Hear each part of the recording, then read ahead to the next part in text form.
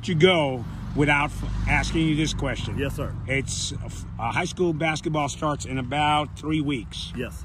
What's your What's your take on Northwood and what now that they're two A uh, conference uh, school? What What's your take on Northwood? Their strengths, their their weaknesses, or how far do you think they're going to go you this know, year? Great, great question. Uh, I actually asked uh, uh, Coach Vernon uh, when we uh, saw him today uh, about the prospects for Northwood. obviously, we have one of the best players in the country, and if you all haven't had a chance to, you need to come out and watch Northwood. If you have had a chance to see him come play because Drake Maye is a uh, Drake Powell. I'm sorry. Let's get our sports yeah, right here. It's Drake, basketball. It's Drake Powell is a special, special player, and I remember watching him. Cameron asked me to come see him as a freshman, and you could tell that he had the bones, the structure, and he had some talent, but he had to work at it.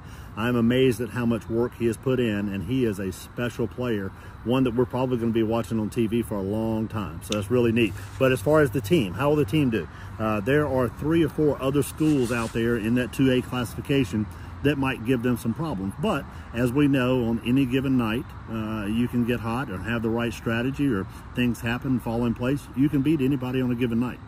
Well, let's talk about the team a little bit more. Again, you mentioned seeing Drake play when he was a freshman. He's got several folks that have come along with him. You've, got Mr. Um, uh, uh, Mr. Hobbs' kid. Uh-huh. Yep. Uh, you, have also got, you also have Fred, who's been there for a while, and those guys actually did get to the championship game their freshman year. Yeah.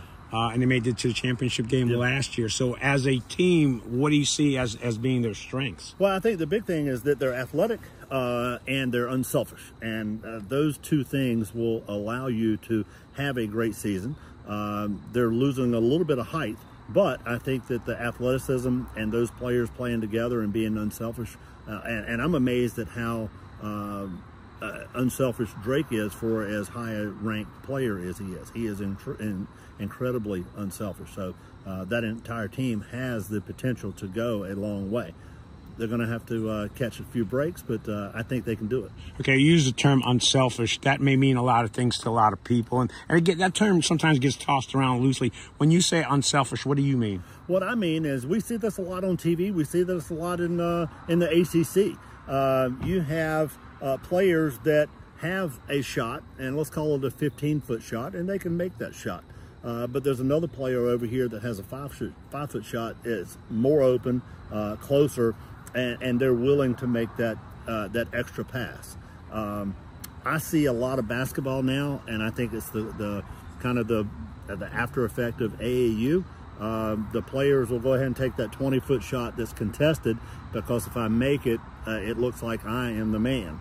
Uh, and players that play unselfish, that'll make that extra one, two, three passes for a layup, uh, is really a beautiful thing to watch. It's almost like going to a symphony. Um, most players today, if they have any um, uh, ability or, or any schools that are looking at them or they're a potential college player, they're not going to make that pass. They're really not. And even the players that play in college aren't making that extra pass. Uh, why? Because if I pass it to you, it's going to keep me from getting to the NBA. These guys don't play that way. They play the way that basketball is supposed to be played, which is I've got a good shot, he's got a better shot, he's got a great shot. So let's make that extra two passes and get that great shot. Most players and most teams aren't doing that. Let's talk a little bit more about Drake because you and I have seen him since his freshman year. I'm more I'm, I'm in there taking pictures, so I don't have that same perspective that you have, having played college ball for Dean Smith what kind of improvements that because this past year he's really he's gone to several camps and he's really jumped in the rankings. Oh, yeah, I mean he's, he's like, like, top ten now. Right. He's yeah. in the last two ones I've seen he's in top ten. So what's he doing to be able to get up to there and and I guess what you know some kids just pay attention to the AAU or the stuff that they don't don't do in high school. I see Drake at a lot of high school sports functions just supporting the team. He's yeah. he's enjoying being in high school. I'll tell you that. Uh, well, I think that's a testament, one, to his parents. Uh, he's a really, really good kid. Uh, Pete and I were actually able to talk to him a little bit today, and uh, just a very, very impressive young man. Uh, so that was uh, neat to see. Um, as far as basketball wise, uh, he has really taken to instruction. he's taken to what the coaches have said, hey, you need to work on. Uh, and he's done that. When I first saw him as a freshman, he had a, an, a, we'll call it an awkward shot. It was really high, didn't have a lot of backspin on it, not a lot of what we would call touch. And he has really worked on that, and his shot looks really good. I think that the one thing that I can say that separates Drake from guys that I have seen over the years, and I had a high school teammate that was Mr. Basketball in the state of North Carolina. He was a really good player. He actually reminds me of him because Drake is just as hungry and just as assertive and just as desirous as a defensive player as he is an offensive player. And that is incredibly rare for a high school kid to have that maturity, to have that drive and have that desire to ball out and give what they what he's giving on the defensive end of the uh, floor whereas most of the guys at that level all they care about is going out and can I get 50 a game he has the ability to score 60 a game but again being an unselfish player he's playing team basketball and getting his teammates involved and looking for a better shot to the great shot and most uh, top 10 kids uh, at that level don't do that. And that's what is neat about him. Uh, and that's why I come back to his, his being coached well. And he's got great parents uh, because they have a great kid. Uh, how's he going to add to the UNC team? And this is for all the UNC basketball fans out there. How's he going to add to the team once he comes aboard? Well, uh, being a being a, a talented player, he's a wing player. he's long. He's athletic. And again, what, what's going to drive his uh, time in Chapel Hill is how he does on the defensive end of the floor. Uh, he can play uh, ACC basketball uh, right now as a defensive player. Uh, that is not going to be a question at all. He's long, he's quick, uh, he's fast, he's got great instincts, and he's willing to do the things on that end of the floor that most kids aren't willing to do. So that's going to allow him to stand out both in the college game and as you said, I think I think he's he's he's got the talents and, and the drive to, to make it further past college. I do think that he'll make it past uh, past college. Uh, it will be uh, driven and determined by how well he shoots. Uh, he's shooting the ball really well here. It is a different animal shooting in uh, 15 and 20 thousand seat uh, arenas versus a high school gym.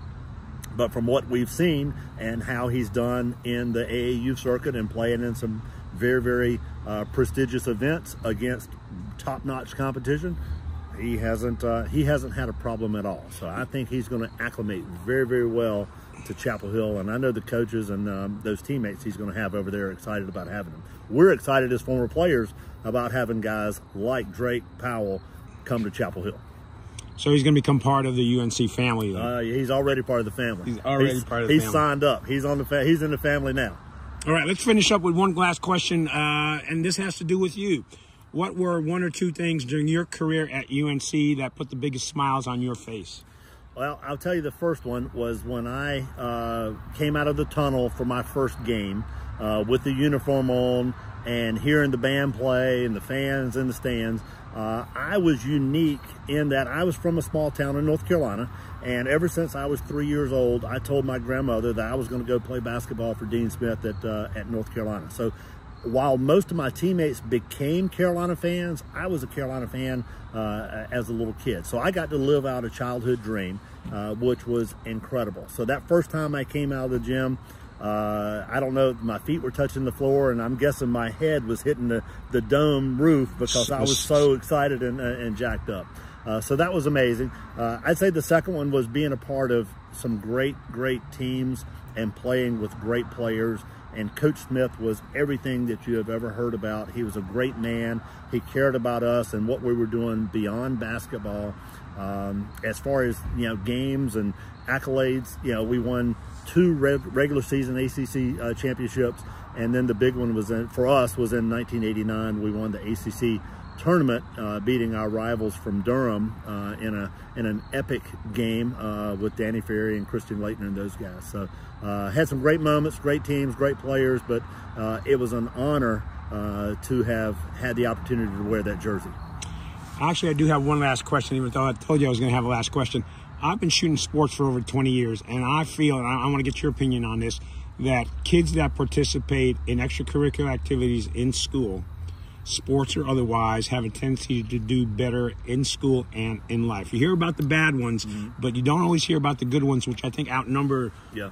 the bad the yeah. bad stories. What's your feeling about that? I have two components that I would talk about. One, uh, I always did, and I think my teammates, we always did better academically when we were in season because it allowed us to be more structured, more disciplined, more aware of what was going on. When we had idle time, we didn't do as well because we were kind of floating. So when we were in season, uh, we had the structure and discipline, uh, we did better. Uh, the second thing I would say about kids is that uh, don't get locked into one sport. Uh, play as many as you can. Uh, that will allow you to be more versatile and it will actually enhance the development of the sport that you eventually go on to play. I hear and see mostly parents, but some kids that I want to lock in on this sport at, you know, seventh grade. Uh, don't do that. You know, let the kid enjoy their time with their classmates, with their teammates, and they will find what level that they want to participate in. Uh, but is really ashamed uh, that these kids start locking into one sport in, you know, in fifth grade. Don't do it. Let them play all the sports. The reason that you play sports is for the enjoyment of that particular sport, for the competition, for the camaraderie, for being around teammates. You learn so many other things about life. Going to college is a bonus. Uh, getting a scholarship is a bonus. But I played basketball and baseball and, and golf and football because I enjoyed those sports and enjoyed those teams and teammates. I didn't play those sports so that I could get a scholarship to go play basketball at the University of North Carolina. Now, I wanted it, but that's not why I played.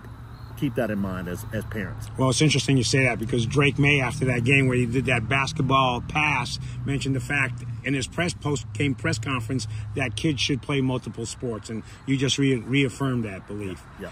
All right. Hey, thanks, Jeff, for telling us about the basketball environment here in Chatham County. But because of that, you get to say again, Generator Super Center. How do I reach out to you? That number again is Generator Super Center 919-925-3434 and Generator Super Center of the Triangle.com. There you go. Thank you, Jeff.